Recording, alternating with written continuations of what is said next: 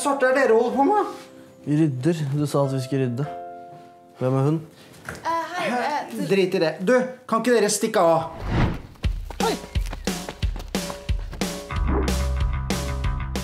Husker du ingenting fra i går, eller? Nei. Du knuste telefonen min. Og her er nøkkelen til fabrikken.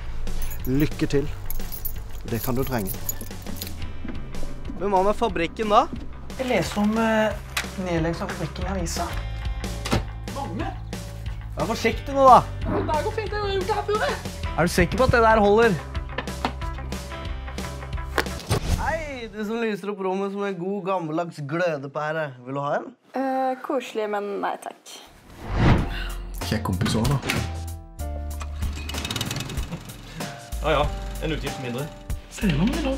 Nå åpner fabrikken igjen. Det er ikke noe til å rope. Ta vel imot uh, Jan Aas. Fabrikken blir et lager for Kunstgalleriet inntil det er ferdig. Da ser jeg dessverre ingen annen eh, mulighet enn å forby all ferdsel eh, med motorbåt her i kommunen vår. Hva med regattaen, Torstein? Du er Ronny, ikke sant? Ja, det er helt riktig. Jeg er Ronny.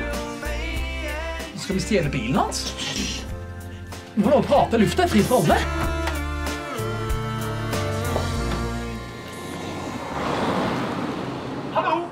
Det er veldig kjedelig her ute, altså.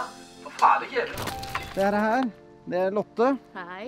Hei. Hei, hei. Kanskje så mulig?